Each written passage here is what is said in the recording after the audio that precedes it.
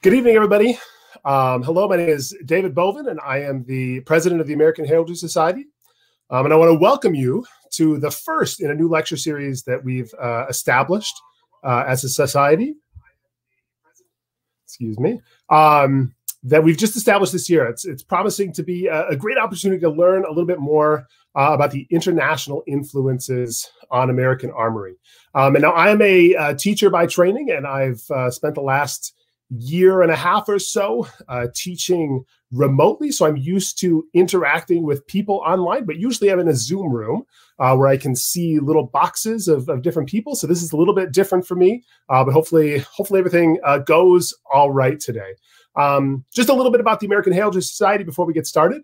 Uh, it was founded in 2003 uh, and has been working since then to educate Americans about the art and the science of heraldry and also to share American Armory uh, with the wider world. If you would like to support that mission uh, and lectures like this and the work that we're doing, uh, I encourage you to visit the Society's Facebook page uh, or its website to find out more. Um, so, just as the United States is a diverse place with peoples, with ancestries from all over the world, the armorial practice in this country is diverse. Um, and Though the origins of heraldry lie in medieval England, uh, or medieval Europe rather, uh, there are major differences in the way heraldry is done from England to Italy, from Poland to France, from Norway to Scotland. And in addition to these national traditions in Europe, uh, American Armory has absorbed influences from Asian and African and Native American sources. And the hope is that this lecture series will help us to understand um, a little bit more about where American heraldry comes from. Um, before I started talking, there was a video that was showing some of the upcoming lectures. Um, be sure to stay tuned to our Facebook page for updates on these over the next year or so. Uh, tonight's lecture is an exciting one. Uh, we're going to be hearing from uh, Ethan MacDonald. Uh, Ethan MacDonald of Abarone is uh, the herald to Clan Donald USA. Um, he's a fellow of the Society of Antiquaries of Scotland.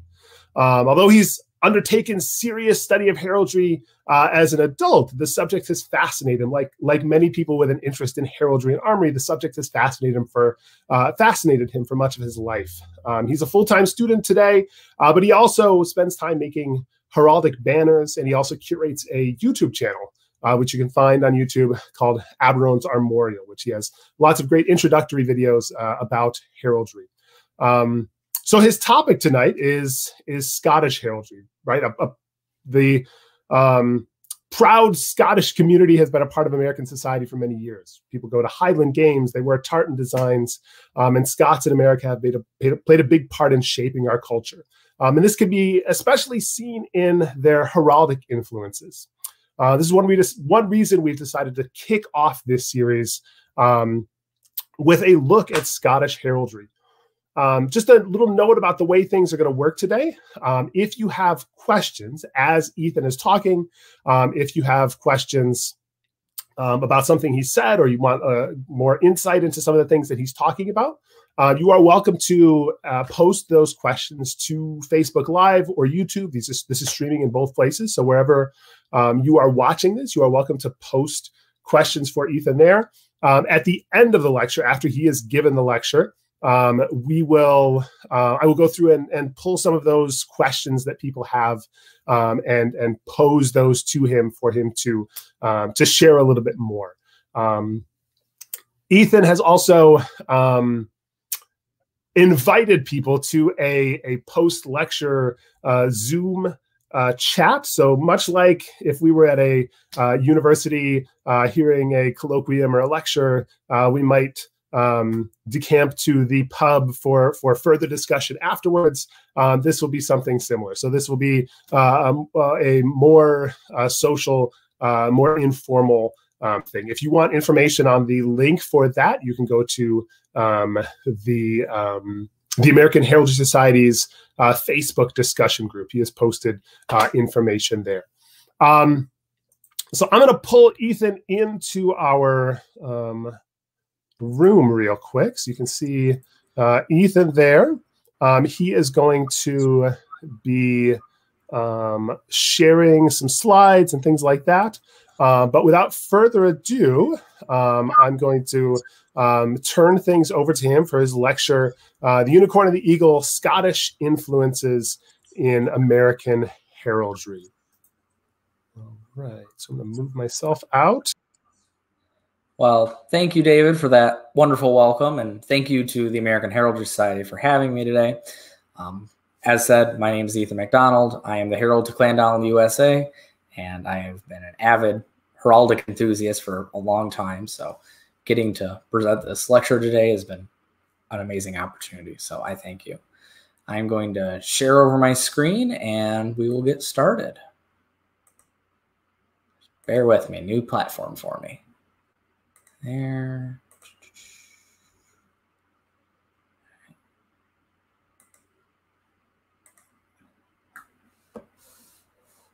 All right. So I would like to start our presentation by welcoming everybody and to everybody in the community. I thank you for having me. So Scots heraldry is a very unique form of heraldry. Arguably, it's the longest and most well curated form of heraldry in the world, stretching back hundreds of years. Um, it is an in, it's characterized by many unique items and symbols and charges and ordinaries, things that are just not found anywhere else in the world. Um, and I think for a lot of people, the biggest hurdle for understanding it is its intricate system of cadet differencing, which is all of this wonderful subject is curated by the Court of Lord Lyon, which is the heraldic body in charge of all Scots heraldry in Scotland. Um, if you would like to see that, there is a wonderful banner off the top of one of their recent grants that shows all the arms of the officers of arms, including Lord Lyon in the center there. So the two big uh, functionaries that work between Scottish heraldry and Scottish culture are the Court of Lord Lyon and the Standing Council of Scottish Chiefs. The Court of the Lord Lyon regulates arms. It does not regulate the clans, it does not regulate their function.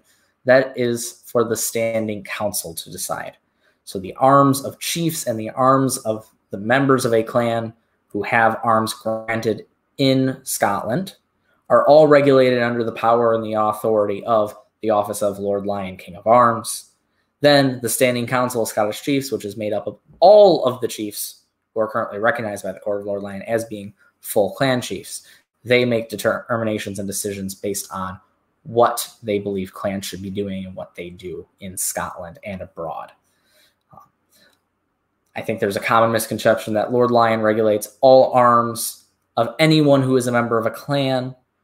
And that jurisdiction is very clear that Lord Lyon's authority begins and ends in Scotland.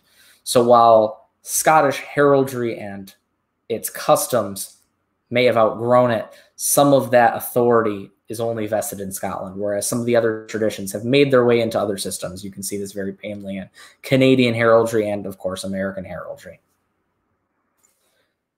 Now, before I get into some of the more intricate matters of Scottish armory, I think it would help to understand how it fits into the Scottish clan system because they do feed off of each other heavily.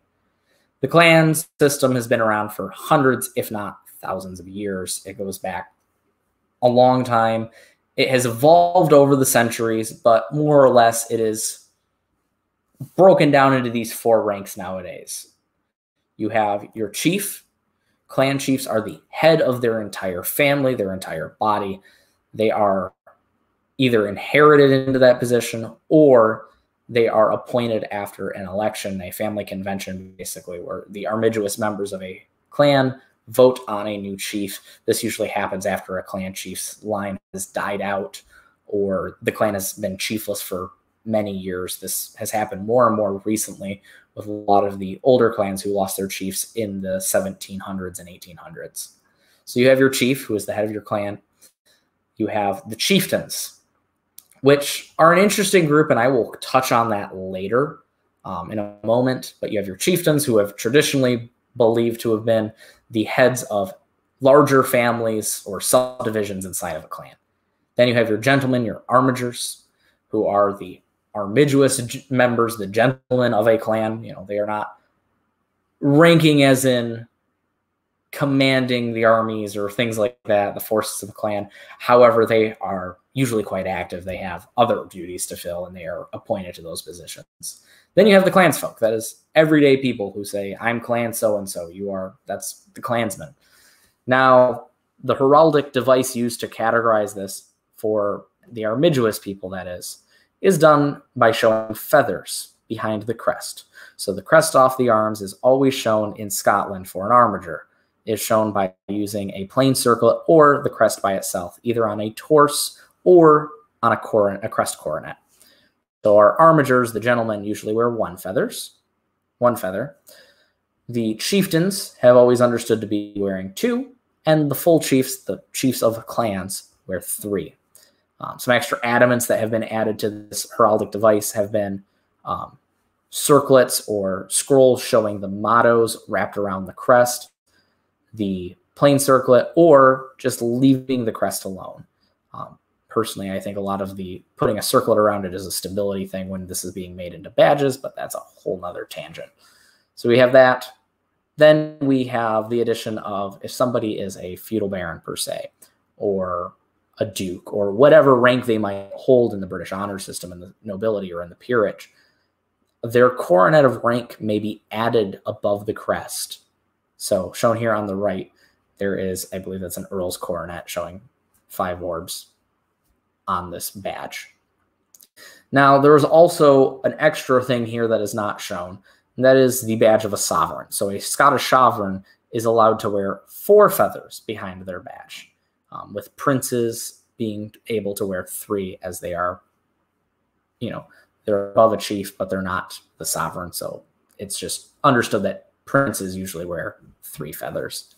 Um, and there's actually quite a number of pictures of Scottish armigers wearing these badges, or sometimes they're actual feathers. I, for one, have a badge that has metal feathers. I also have a badge. I also wear a plain badge with two full feathers as well. Um, now, this middle ground area of chieftains can be not disputed, but sometimes contested because historically speaking, chieftains were the heads of major branches of the family. They were landowners, they were all these things.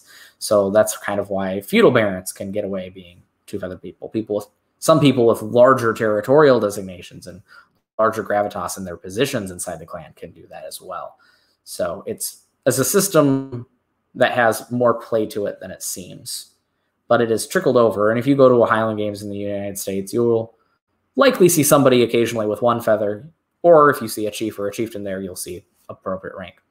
The clansfolk, I will get into that, wear a badge that is their chief's crest or whoever they follow. So if they follow a single armiger or they follow a chieftain or they follow a chief, it'll be their lairds, term that doesn't get used much anymore, their liege lord, whatever you want to call it, their over person, whoever they follow, it's their crest in a strap and buckle.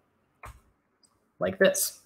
So the clans have outgrown the homeland's borders. They are not only in Scotland, they've been spread all over the world by immigration and clearance and many other wonderful ways where people have gone abroad or you know there's been sadder things where people have gone abroad there you know being removed during the clearances and such but over the years scots and therefore their clan culture has been brought across the sea to other areas america canada australia new zealand everywhere so who's in charge when a clan outgrows its homelands if Lyon is not in charge of the clan outside the country, then who takes precedence? Well, I'd argue the chief because that clan is not a nationalistic thing. It's not broken into the law of that country. It is a ethnic and cultural thing that has transcended borders.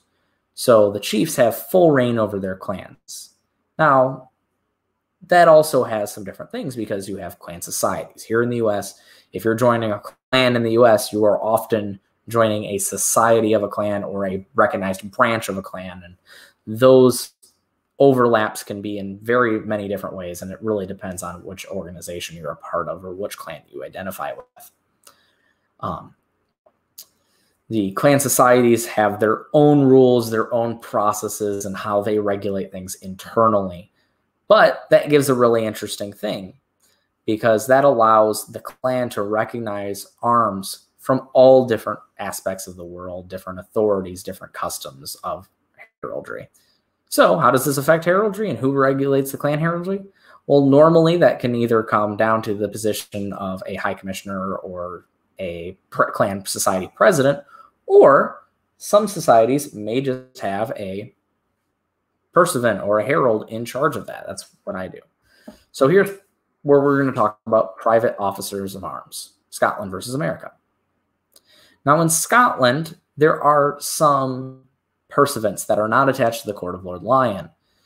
They have been approved by Lord Lyon for certain chiefs, certain higher ranking nobility to have their own private officer of arms. Now, I think sometimes that gets confused. I think some people are in a camp that they think that that means that that person is in charge of all the heraldry of the entire clan. And some people think that, well, that's really just the person's individual private officer of arms attached to their baron's court or their entourage, or whatever you want to call it, their household. I personally am in the latter camp. Um, if a chief wants to appoint somebody or appoint their personal pursuivant or herald to be in charge of the entire clan, that's well within their right because a chief has the final say of what happens in their clan.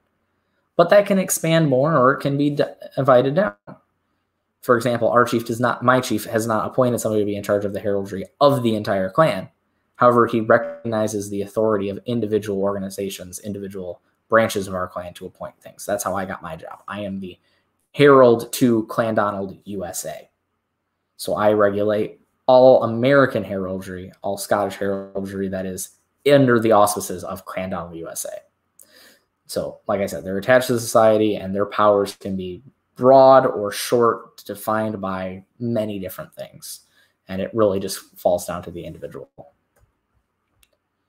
So, with that, with that basics of where that grounding comes from, where some of these traditions come from, I'm going to talk about some American arms with Scots influence. These are all pretty early. They date back to mainly the 18th century, but they have, you know, some of them outlived that. Some of them are modern, that sort of thing. So we're going to talk about there. And I've only picked a couple of examples here. I think the first one I want to talk about though is this. This is one of the this was the first proposed design for the arms of the United States. This was submitted in August of 1776 to the Continental Congress. The workers on this were Ben Franklin, John Adams, and Thomas Jefferson. Now, none of them are heralds, and I think many of us here heralds look at this and go, "Dear God, why? Where's the kitchen sink?" you know, but you see these interesting elements that will eventually make uh, make their way into the United States' arms. But here we have a couple of things that are interesting. I think the biggest being, though, the thistle, which was meant to represent Scotland. And the breakdown of this arms was the idea of quartering six different countries that have fueled, you know, the six main groups that founded America. So they had a rose for England, a thistle for Scotland, the harp for Ireland, the fleur-de-lis for France, the red lion rampant for Holland, and the double-headed eagle for, of course, the Holy Roman Empire for the multitude of Germans. And then, of course, individual shields with the acronym, abbreviation, whatever you want to call it, for each one of the 13 colonies, you know, all of these things. But here we have something interesting here. You know, while not regulated to only Scots heraldry, quartering has been used for many years. This is more of an English or continental style quartering where you're just adding everything together. But I think it's interesting that from the beginning, people, the founding fathers, recognized a Scottish influence, that Scotland had had such an impact on early America that they chose to include one of its national symbols, the thistle. It's our it's our national plant badge. So that has made its way there. Now, as an Episcopalian, I have to do my shameless plug here, but the arms of the Episcopal Church combine both Scottish and English elements to them. And it's very simple. It's St. George's cross with a canton bearing seven smaller cross crosslets, which also represent stars, but they're in a saltire. And a lot of people think, well, that's a good way of arranging things. Well, not only that, but you can see that the saltire and the cross crosslet both very common prevalent Scottish symbols. I would almost describe the cross crosslet to being a uniquely Scottish thing. You see it in more arms there than you do anywhere else in the world. And of people's arms that I've seen cross crosslets in that are not Scots, they usually have some inclination or some attachment to Scotland for that to be included in there. And this comes from the Scottish influence in the in the American Episcopal Church, or what used to be known as the Protestant Episcopal Church. And this influence came in as a result of the first bishop being trained and ordained in, or consecrated, sorry, in Scotland, Samuel Seabury. Now, this one's a little more, you know, I wonder if by looking at these arms, you can tell that he had something to do with Scotland. There's quite a drastic, you know, open thing. You have his arms over a saltire, which is kind of interesting. Even though this whole achievement was granted by Lyon as Samuel Seabury's arms back in the 1700s, it's kind of funny that it almost looks like a form of impalement or not impalement, sorry, marshaling showing an escutcheon of pretense.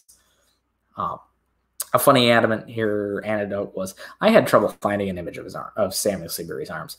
However, I remember that in the Episcopal Cathedral that I grew up in, there was a lovely window depicting the arms. So there they are, the arms on the left of Samuel Seabury, and on the right is a artistic representation of the diocesan seal for the, dio- the Diocese of Western Michigan.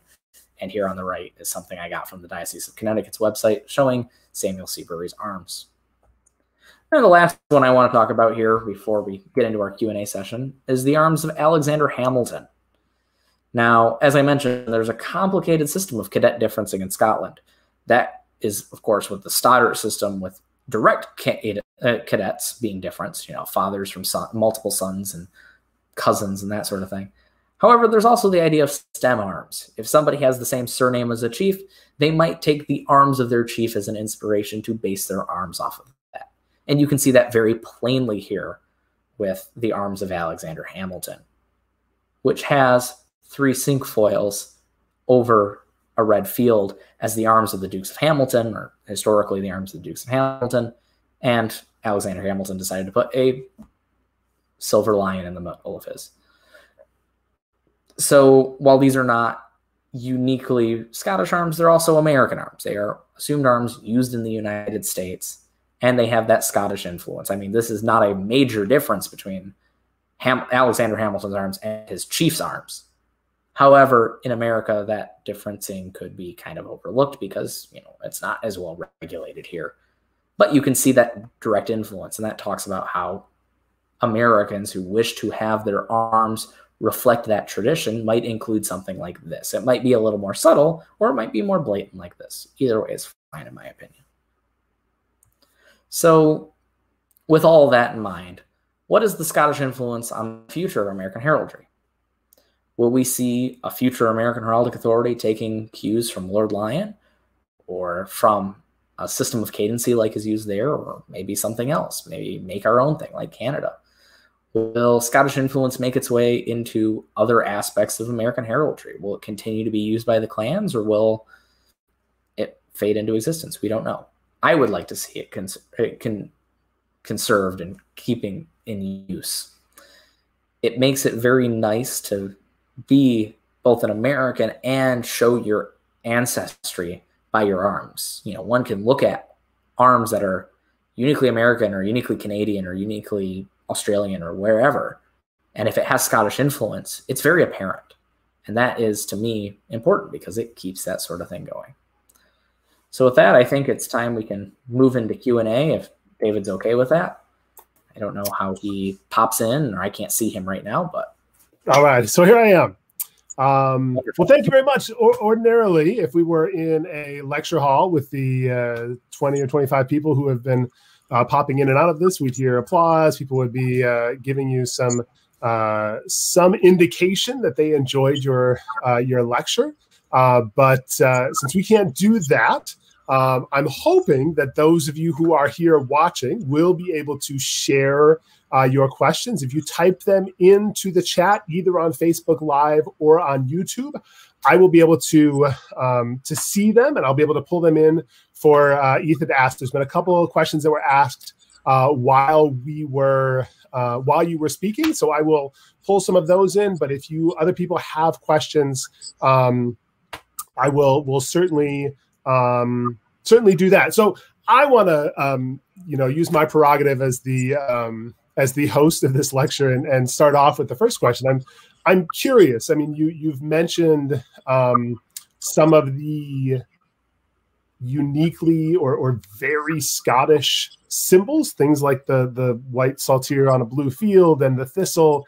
And I mean, if you you see those on a um, on a shield, you often see a Scottish connection. I'm curious if you um, like have other thoughts on how Americans or other people of Scottish descent in other places um, can show Scottish um, Scottish heritage, Scottish connections, besides using those, you know, those maybe overused um, or often used symbols. Uh, do you have thoughts on that? Um, I do. I think I, I would I'd hesitate to call anything overused. I think there are some things that could be considered overused. You know, oh, I'm Scottish. I'm going to put the saltire in it, or I'm going to put a rampant lion in it. How original! but I mean, to each their own. Uh, you know, arms are meant to be a personal identification thing. If people want to have something like that in their arms, that's okay. Um, I think it can get complicated, especially here in the U.S., where we have no authority, so it makes it harder to regulate those differences, to keep differences, to keep arms individual. And I think a lot of people misunderstand. I'm going to go off on a slight tangent here. I think a lot of people misunderstood misunderstand the intent of an authority it's not always there to say, no, you cannot have arms. You are just a filthy peasant. No, it's there to really make sure that the people that do have arms, the people that want arms, are getting their own uniqueness, that things are not getting repetitive, they're not getting stale. The whole point of arms is to be unique, to be easily recognizable. And I think that's really helped by that. So I've told people before, I've told people in various clans that if they want to show that influence, I try to steer them away from nationalistic symbols. That's the same with Americans. You know, if I had a nickel for every time somebody's come to me and said, "I want American arms and I want red, white, and blue, and I want an eagle, a bald eagle on it, and I want stars on it," I was like, "It's it's not unique. You're making a at that point you're making an extra coat of arms for the United States. It's not a it's not unique to you. It's you know like you might think those are important, but they're not the things that you want to represent you. I don't think I've told people." And I said, you know, what what clan are you? I'm like, here's here's your achievement, here's your chief's achievement of arms. Take one thing out of it, and then go from there. And it can be a color, it can be whatever. You know, having that link is important. And it doesn't always have to be an outward visible sign. It can be something that you know. And if somebody asks you, why'd you do this to your arms? I'm like, well, I like this, you know. Oh, my chief's arms have a, has a cross crosslet, but I like a cross flory better. Or my chief has hound's heads, but I wanted dragon heads instead, or something, or a griffin's head, you know, or whatever, you know. It can be many different things. And I think that's unique, you know. It doesn't have to always be an outward sign. It can be an something that you know that when people ask about it, it's like, oh, here, here's a little cool little tidbit about that. If that sure. makes sense. Yeah. And that's great. There, if you want to expand on the uses of that, maybe you decide to adopt using a Scottish style heraldic flag, or you decide to start using Scottish style ranking and you just keep yourself as a plain gentleman's helm, or if you're of the rank, you know, maybe using an Esquire's helm, change it up.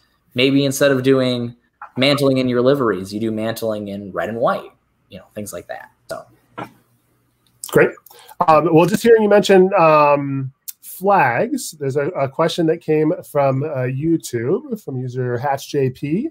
Uh, it says, how might Scottish traditions uh, of heraldic flags be applied to armorial banners and other heraldic flags in the U.S.? I mean, are there unique things that could be carried over into um, into American heraldry in that way? Absolutely. So, for those people who don't know, besides Scottish arms being highly regulated, the regulations around who gets what flag and what flags are used for in Scotland is very specific. I've done a whole video. I did two videos, and I'm probably going to have to make a third and a fourth just to cover things in depth because it's such a broad subject. So another uh, another plug for your your your YouTube channel. yeah, I kind of had, I kind of had to do out. that there. but um, let's see here. So in Scotland, you know, other places like Ireland and Canada and England, anybody can get a standard, anybody can get a guidon. Most people just generically go with the standard. In Scotland, they're set to sizes. They start at minimum three or four yards and they go up to eight yards for the sovereign. And it's that's a big flag. Um, but things like guidons, pennons, uh, personal manners, that sort of thing. There are some things that are uniquely Scottish to it. So in Scotland and I guess in the rest of the British Isles, there's the idea of adding a national cross to a heraldic flag. So the hoist of the flag may be your arms, or it could be the saltire, or it could be St. George's cross, or it could be St. Patrick's cross. Those have been done. Um, the French at one point used a blue field with a white standard cross. Um, I've seen an Italian one that was red and white as well. Um, and who knows? Maybe America could pick up and do the 13 stars in a circlet on a blue field. That could be our national cross code.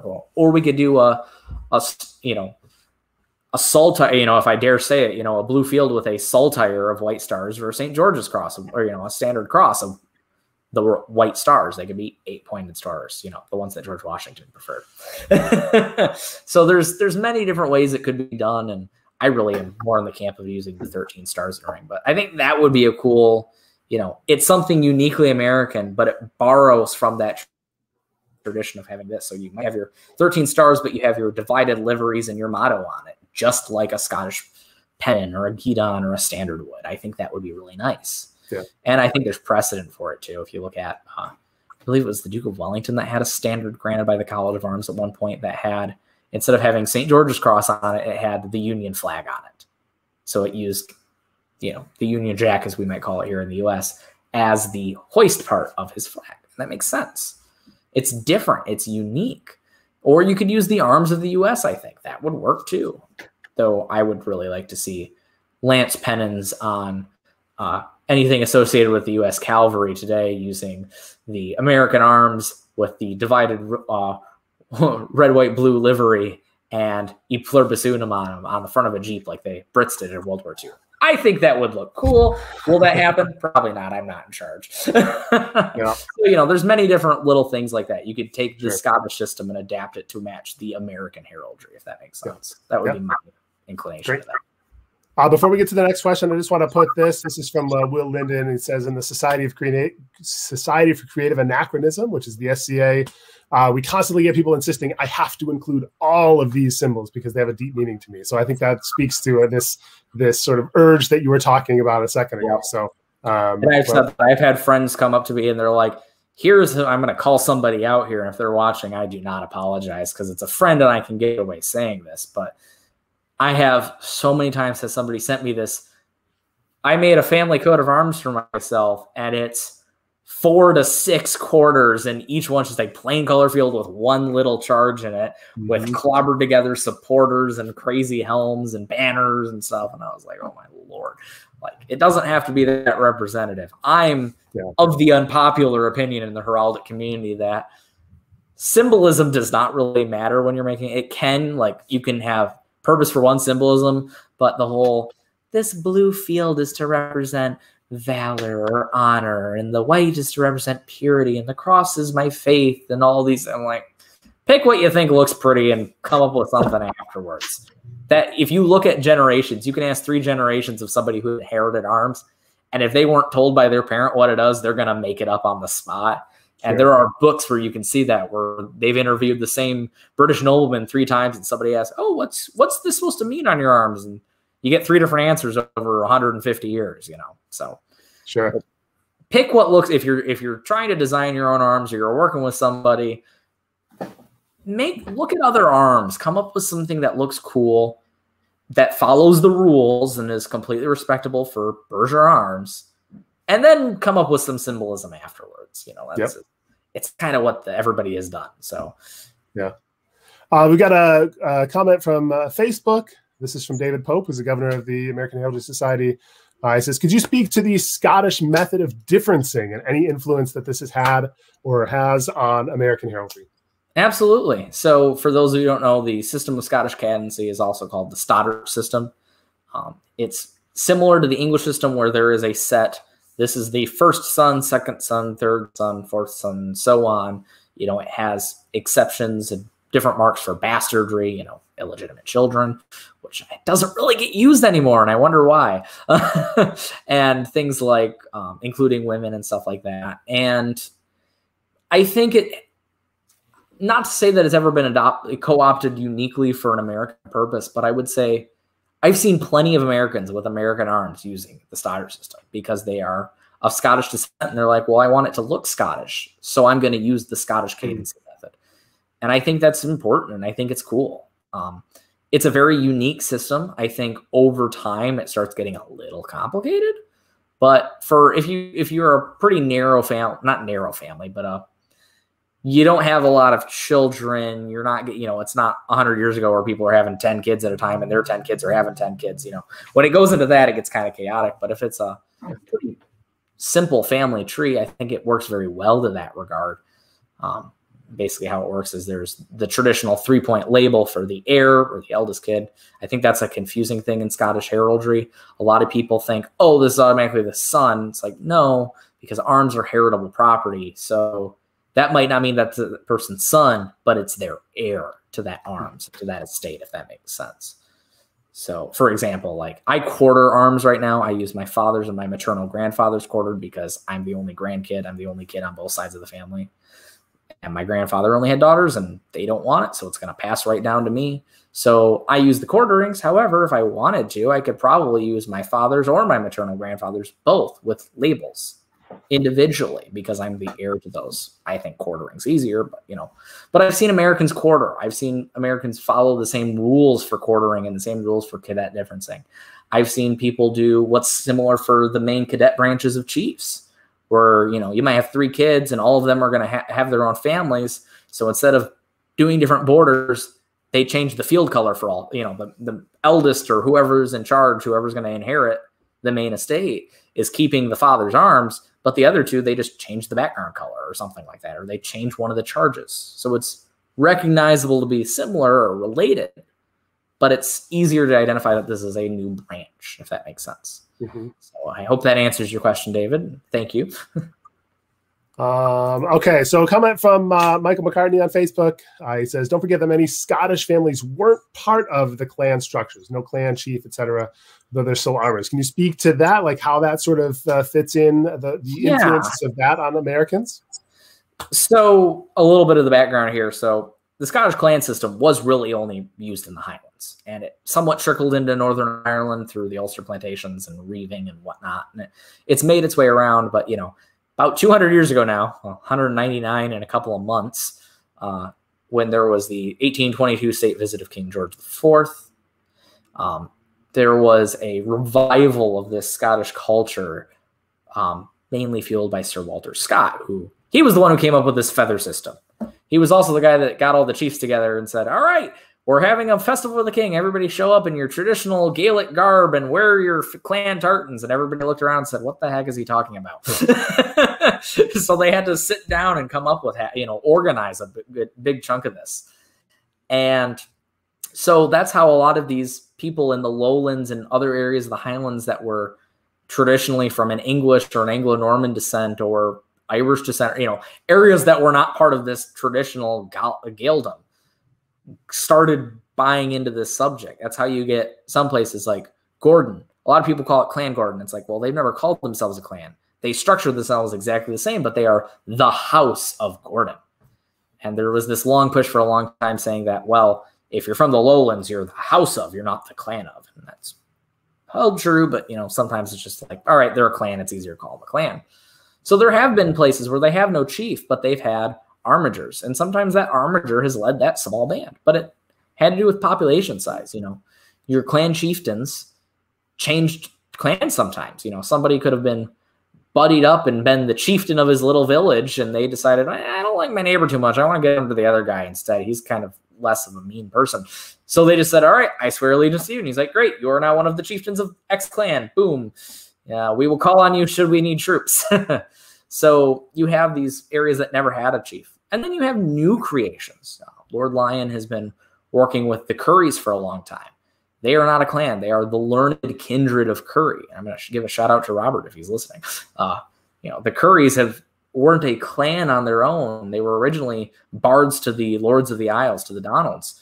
But you know, other chiefs would visit and go, "Yeah, I like your bard. I, I want one of those." And they would train people, and they'd send them all over the West Highlands and Isles. And so, as a result, this small family grew all over the place and they became they they've never had their own chief and now they're in the process of formalizing their structure because there have been groups in every other clan and they've come together. And I think it's really cool that the current Lyon has gotten together and said, you know what, you, you guys are a special thing. You are still a kindred. You're a family.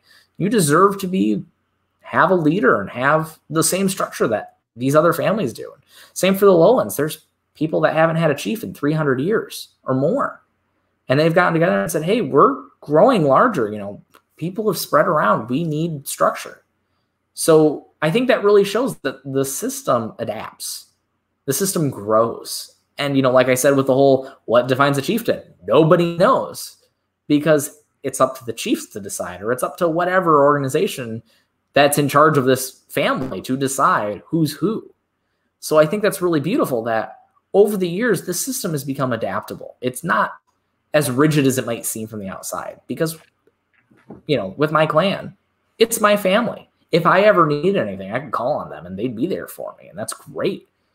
And I think that's a unique aspect of this. And the heraldry reflects that because some people can be rigid about it. And other times it's like, no, we're welcoming these people because they have shown that they show the initiative to be hard workers for their family, we need to give them this recognition as, you know, gentlemen or whatever, you know, whatever you want to call it.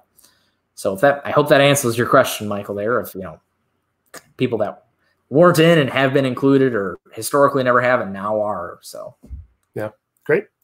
Um, let's see a couple other questions.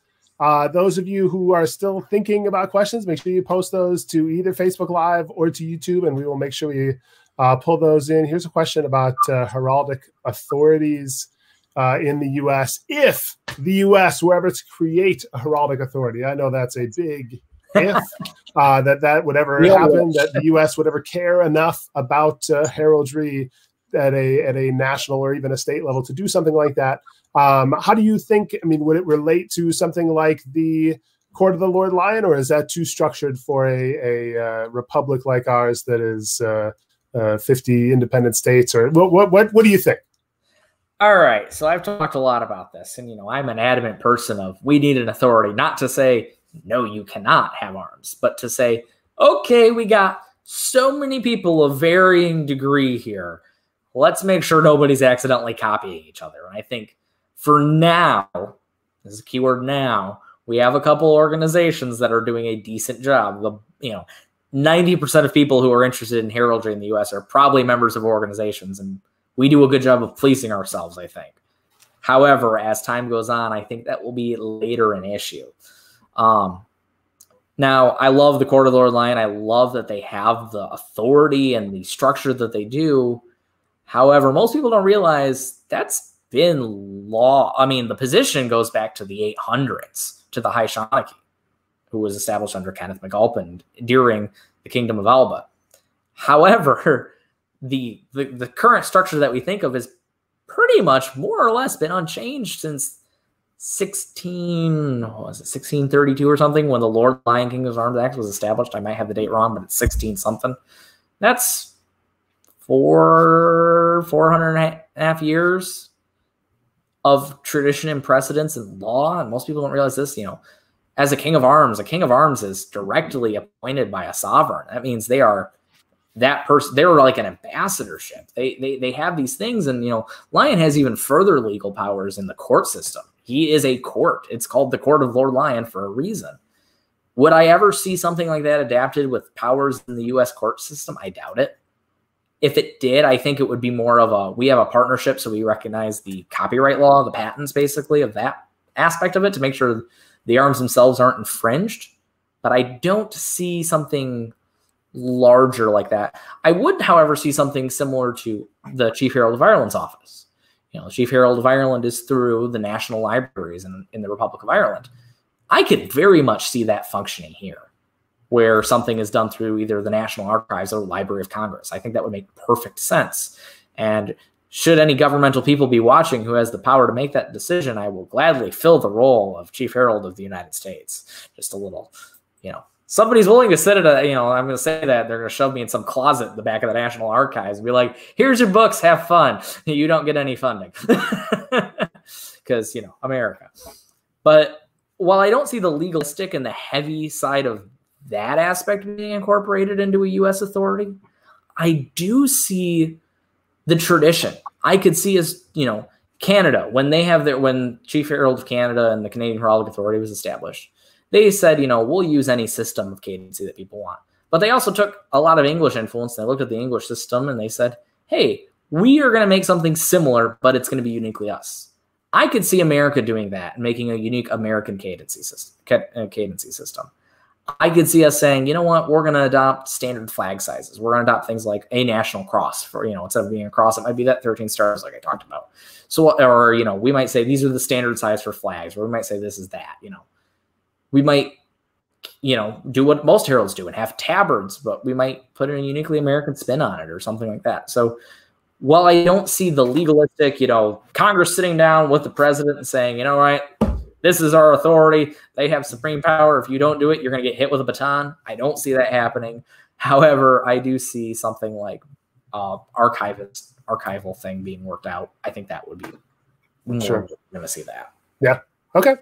Um, and then I think this is the last uh, the last question that I see on uh, either Facebook or YouTube. If you so we'll we'll finish with this one unless somebody sneaks um, another one in. This one is looks like a it's a two part question from uh, Peter Middleton on Facebook.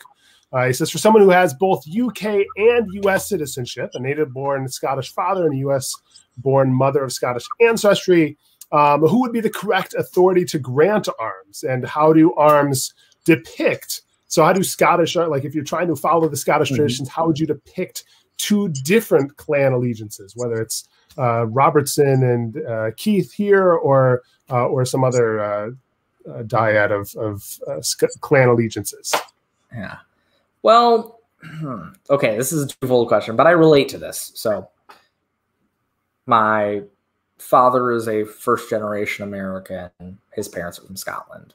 I am so second on one half and third on the other. Kind of, a, I call myself one and a half um, because the family moved back and forth a few times and stuff between Scotland and the U.S. on both sides of the family, and have been other places: Canada, England, Ireland, everywhere. They've, but it's been more of the family picked up and moved. Not so much there's ancestors from all over the place.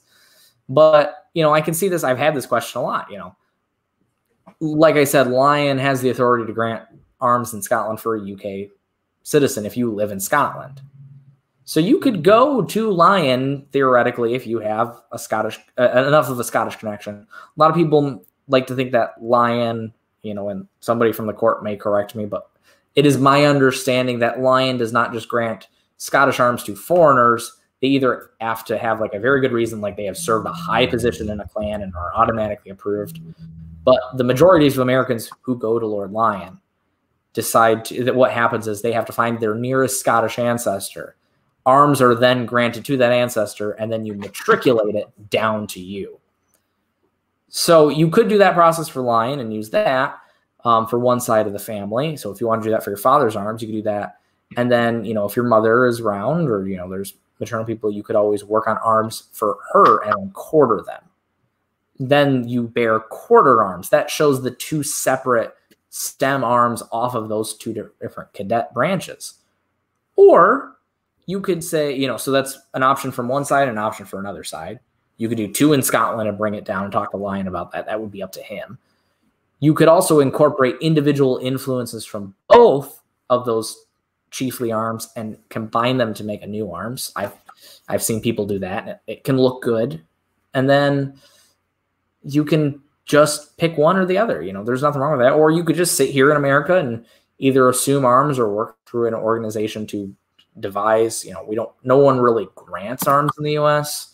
Um, I think that that faculty has been filled by one certain organization, but I'm not going to do the open endorsement here. but um, no, I think there's many different ways you can go about it. And I mean, you can reach out to me on Facebook if you wish. You know, I'm always willing to help out with that and advice. And as somebody who is maternally a Robertson, I understand the I want to show influence from both. So, you know, I think whatever way you go, you can't really go wrong, if that makes sense. So hope that helps. Great. Um, yeah, let's see. So I think Um, that's all of the uh, questions that um, that I see on Facebook or YouTube. Um, if anybody has other questions um, and you just want to, uh, you know, grab a glass of wine or a bottle of beer and, and go to the uh, the post lecture Zoom room uh, with Ethan and, and chat a little bit. Like I said, the the details for that are in the American Heraldry Society's uh, Facebook discussion group. So if you're a member of that, you should be able to go there and uh, and access those details there.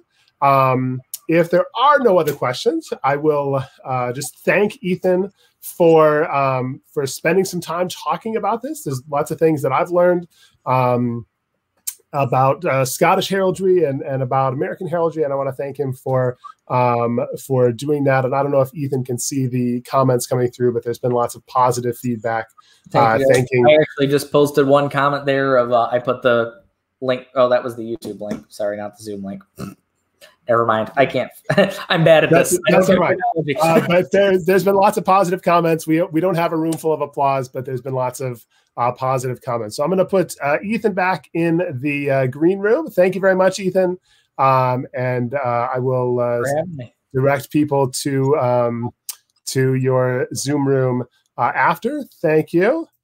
Um, and I just want to spend a minute here thanking all of you for coming here. I think this has been a, a, good experiment. We're hoping to do seven or eight more of these over the next uh, year or so, maybe one every month or two. So keep um, keep tuned to the American Heraldry Society's uh, Facebook page and other social media, and we will make it clear when those are happening.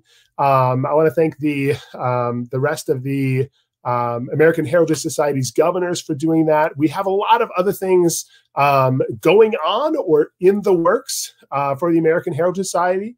Uh, it's been um, it's been a period of rebirth for the society here as we've tried to jump back into some things that have been lacking